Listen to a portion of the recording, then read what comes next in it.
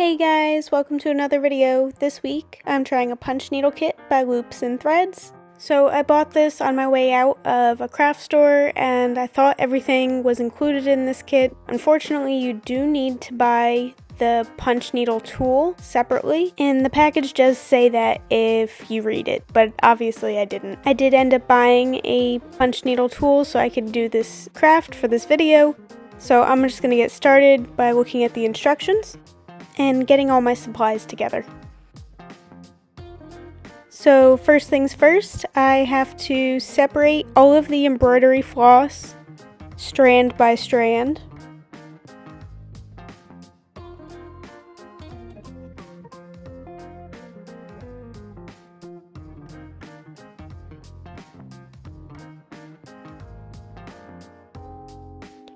After making a big knot with the first piece of embroidery floss, I did get the hang of it. Just have to pull out one strand at a time while trying not to get the other strands tangled in the process, and then it goes pretty smoothly. But then you also have to keep all of those strands separate so that they don't turn into a giant knot, so that was a bit tricky. I ended up trying to drape them all over my camera stand in order to keep them separated and out of the way so I didn't bump them and get them tangled.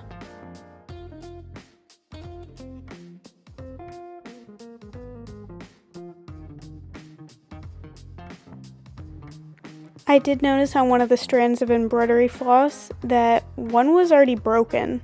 So I'm really hoping that this kit comes with some extra supplies so that it can make up for the fact that it came with a split piece of thread and to make up for the knot that I made with the first piece of embroidery floss. So getting started for real this time, it's time to put the fabric onto the embroidery hoop and pull it taut.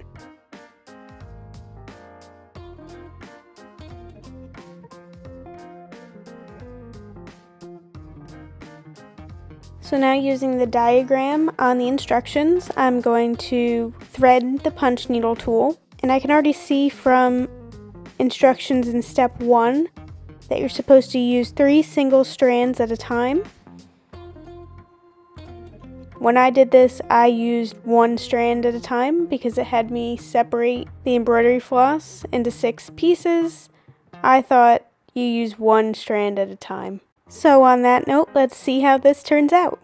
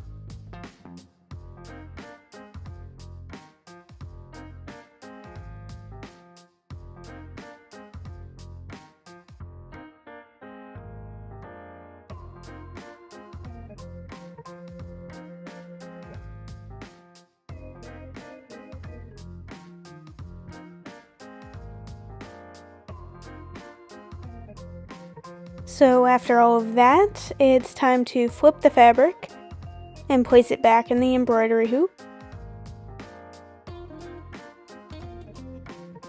And using the pink and black thread, I'm going to make the detail stitches.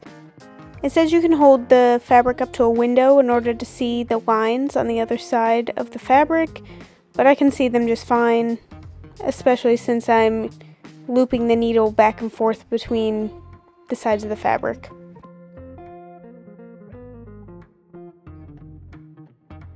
I think for the most part this craft project went pretty smoothly.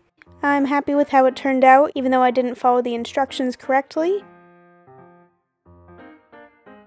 I did trim up some of the rough edges that I ended up having because of extra thread in the loops and I sealed the back of the piece with some fabric glue just so that nothing fell apart.